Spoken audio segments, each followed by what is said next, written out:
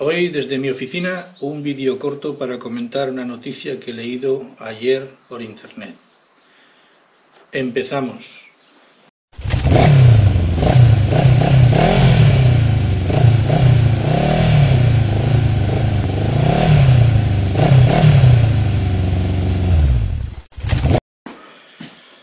Estos políticos que nos han tocado sufrir, la verdad es que no paran de darme disgustos. Ahora resulta que el señor Ábalos eh, se presenta con la noticia, lanza la noticia al aire, a ver qué pasa, de que tiene pensado poner en todas las autopistas de España de, pago. Con lo cual se va a formar bastante lío, porque, a ver, ya pagábamos suficiente. Eh, no solamente cabrea a los motoristas y a los, y a los usuarios de, las, de la vía pública, sino que para colmo de males va a haber mucho problema. Eh, tengo aquí unos, unos apuntes que el RACE eh, comenta que más del 75% de los conductores se muestran poco o nada de acuerdo con esta posibilidad de pagar por el uso, mientras que 8 de cada 10 afirman que buscarían vías alternativas. Como yo, yo buscaría vías alternativas. Según sus estudios, el RACE denuncia además que esta medida volvería a cargar de problemas las espaldas y bolsillos de los conductores y sobre todo que los pondría en serio peligro al obligar a muchos de ellos a buscar vías alternativas y mucho más peligrosas. El pasado mes de diciembre había, una encuesta del RACE que decía que tres de cada cuatro conductores se oponían a pagar bajo ningún concepto por el uso de carreteras. Bien. El Comisariado Europeo del Automóvil está radicalmente en contra del posible pago del uso de las autovías. Se, trataría, según este organismo, el, Comisariado Europeo del Automóvil, se trataría de una doble imposición tributaria, ya que ya hemos pagado unos impuestos para que se hicieran esas autopistas. Y ahora nos pretenden cobrar el circular por ellas. Pero si son nuestras, las hemos pagado nosotros, todos los ciudadanos, ¿por qué van van a cobrar algo que ya es nuestro? No lo entiendo, no se acaba de entender. Esto va a traer como consecuencia una mayor siniestrabilidad.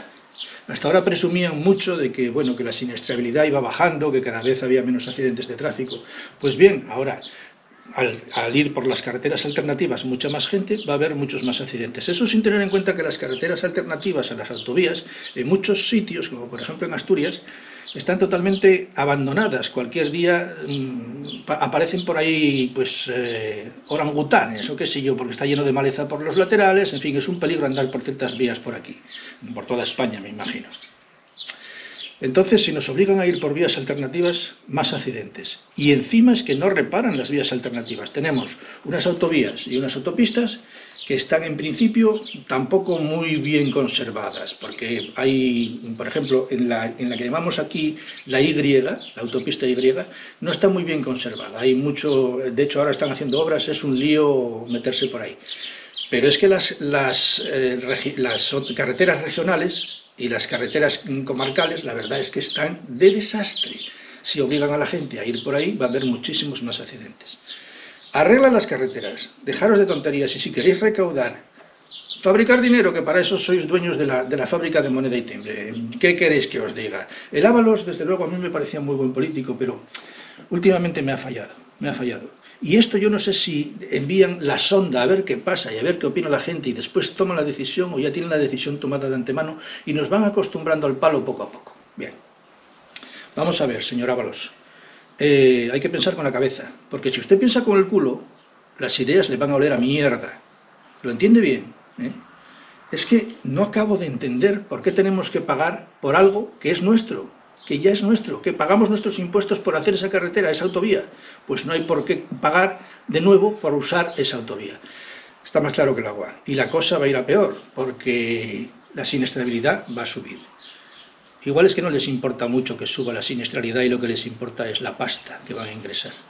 En fin, dejad vuestras opiniones abajo, dadme un like y suscribiros. Y pelead por esto también, poner vídeos, protestad, porque lo que no podemos consentir es que nos cobren por el uso de las autovías que ahora son gratuitas. Hasta otra ocasión, moteros.